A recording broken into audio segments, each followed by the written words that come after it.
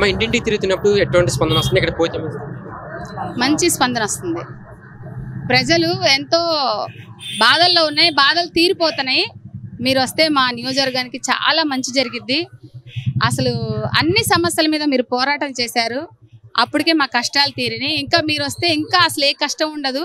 మీరు ఖచ్చితంగా పశ్చిమ నియోజకవర్గంలో మీకే సీటు మీరే గెలుపు ఖాయం అని చెప్పేసి ప్రజలైతే ఆవేశం వ్యక్తం చేసి అసలు ఎంత ఆనందం ఎప్పుడు ఎలక్షన్ వస్తే పోతుని మహేష్ గారిని గెలిపించుకుందామని చెప్పేసి వెయ్యి కళ్ళతో ఎదురు చూస్తున్నారు పబ్లిక్స్.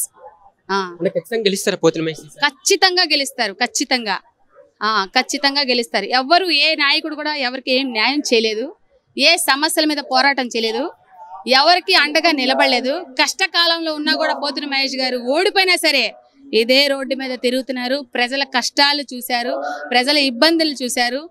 ప్రజలు దాడికి బలైపోతే వాళ్ళందరినీ కాపాడారు. అనేక రకాల్లో కూడా అనేక రకాల్లో ఏ విషయంలో అయినా సరే కేసుల విషయంలో సరే ఆరోగ్య విషయంలో అయినా సరే అన్ని రకాలుగా వాళ్ళ ప్రజలకందరికీ ఆయనకి ఉన్న దాంట్లోనే సదురుబాటు చేసి ఆదుకున్నారు. మీరు వస్తే ఖచ్చితంగా మాకు మంచి జరిగిద్దని చెప్పేసి వాళ్ళు చెడుపై మంచి వచ్చిందనే భావిస్తున్నారు. ఇంకా ఆయన వస్తే ఖచ్చితంగా మెజార్ గొప్ప మెజారిటీతో గెలుపు ఆయనదే ఖచ్చితంగా. వైసీపీ వైనాట్ ఏమండి మాటకాలకి బూటకాలకి చాలా తేడా ఉంటది. ఏం చేశారని చెప్పేసి వాళ్ళు వస్తారు? అసలు వాళ్ళు ఏం చేశారని వాళ్ళ సంక్షేమం అంటే ఏంటి తెలుసా?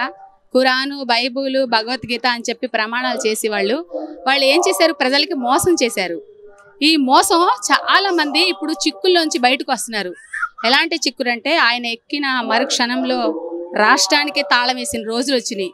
ప్రజలు ఇబ్బంది పడ్డారు అప్పులు పాలైపోయారు. విద్యుత్ ఛార్జీలు పప్పు దినుసుల ఛార్జీలు ఇవన్నీ భరాయించలేక అన్ని రకాలుగా అసలు అన్ని రకాలుగా ఆడోళ్ళు కానీ మగోళ్ళు కానీ పిల్లలు కానీ ఎక్కడైనా సరే ఈ ప్రభుత్వంలో బలైపోయారు. ఈ ప్రభుత్వానికి గద్దెదించడానికి ప్రజలే కంకణం కట్టుకున్నారు. ఖచ్చితంగా గొప్ప మెజారిటీతో పోతున్న మహేష్ గారు గెలుస్తారు. ఏ నాయకుడు నుంచున్నా సరే చిత్తు చిత్తుగా ఓడిపోతాడు. మా చెప్పండి. మా పోతిన మహేష్ గారు పెద్ద మెజార్టీతో గెలుపుతారు. మా ఇంటి సందులోనే మైనార్టీ ఆఫీస్ ఆసిఫ్ గారు అని ఉన్నారు. ఒక్క మైనార్టీ లోన్ సబ్సిడీ లోన్ కూడా ఇప్పించలేకపోయారు మా మైనార్టీ వాళ్ళకి. ఏం చేశారని వాళ్ళు మనం మేము గెలిపిస్తాం మేము మేము మళ్ళీ వాళ్ళని ఇంకో అవకాశం ఇవ్వదలుచుకుంటూనే లేదు మీ పరిస్థితిలో. ఇప్పుడు మాకు పోతిమేర మహేష్ గారే కావాలి. రాబోయే కాలంలో ఈ పార్టీ అనేది ఉండదు.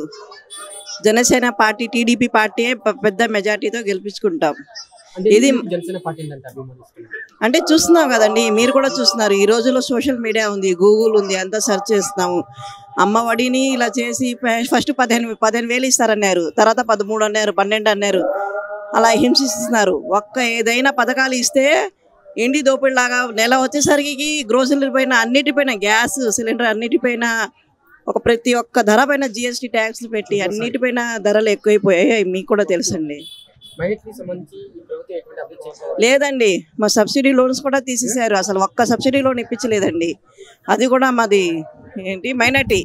మైనార్టీ వాళ్ళకి పెళ్ళి కానుక అని ఇస్తారు కదా అది కూడా తీసేశారండి. యాభై వేలని కానుక చంద్రబాబు నాయుడు హయాంలో యాభై వేలని షాదీ దుల్హన్ పథకం అని ఇస్తారు. అదేంటో మళ్ళీ ఇప్పుడు పెడుతుంటే ఏంటి పెళ్ళి కొడుకుది కూడా ఇన్కమ్ సర్టిఫికేట్ అడుగుతున్నారండి ఇప్పుడు పేద అమ్మాయి ఉంటుంది ఒక ఉద్యోగాలు ఇన్కమ్ సర్టిఫికేట్ వాళ్ళది ఎందుకండి? మా కుటుంబం మా ఆడపిల్లల్ని చూసి ఇవ్వాలి. వాళ్ళని కూడా తీసుకురండి. అసలు ప్రతి ఒక్కరికి చాలా హింసించారండి వాళ్ళు? చాలా బాగుంది సార్. నేను మైనార్టీ కాబట్టి అందుకనే ఆ పార్టీకి సపోర్ట్ ఇస్తున్నాను. చాలా మెజార్టీతో మాకు కూడా తోడుగా ఉంటారు. హిజాబ్ ర్యాలీలో తోడుగున్నారు. ఎన్ఆర్సీలో టెంట్లో కూడా మాకు తోడుగున్నారు. మా ఇంటి పక్కనే వాళ్ళ ఇల్లు కూడా. ఒక లేడీస్ ఒక్క లేడీస్ కూడా రాలేదండి. వాళ్ళ మిస్సెస్ గారు వచ్చారు. ఐదు రోజులు ఆరు రోజులు వా- వారం తోటి తిరిగారు. మాతో పాటు తిరిగారు. క్యాస్ట్ అయిన కూడా ఒకటి చూడలేకుండా వాది ఏంది ఏం సంబంధం అండి హిజాబ్ ర్యాలీకి? హిజాబ్ ర్యాలీలో కూడా పాల్గొన్నారు. తప్పకుండా అభివృద్ధి జరుగుతుందని కోరుకుందాం. జరిగిద్ది. ఓల్డ్ ఈజ్ గోల్డ్ మేము అందరు తెలుసుకున్నామండి. ఓల్డ్ ఈజ్ గోల్డ్ ఎప్పటికైనా. చంద్రబాబు నాయుడు గారు కూడా సెల్యూటు పవన్ కళ్యాణ్ గారు కూడా సెల్యూటు మా పోతిమిన మహేష్ గారికి కూడా సెల్యూటు మేము.